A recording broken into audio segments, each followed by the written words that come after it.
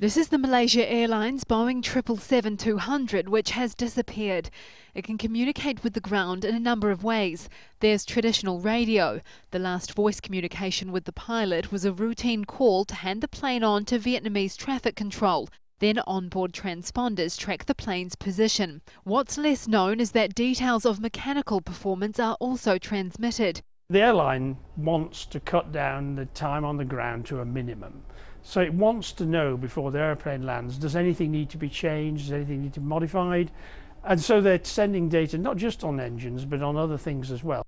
The Wall Street Journal is reporting flight MH370 may have flown for hours after its last known position based on signals automatically transmitted by some onboard systems. If true, this raises new questions about what was going on in the cockpit and why the pilots made no radio transmissions or distress calls. On all counts, this thing seems to have just evaporated, which is ridiculous, really. But in any other circumstance, the pilots have time to take some action.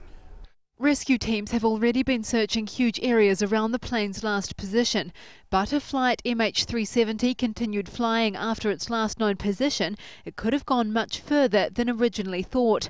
Malaysian authorities have been quick to refute the report, saying they had no evidence to support it. Kim Vinnell, Al Jazeera.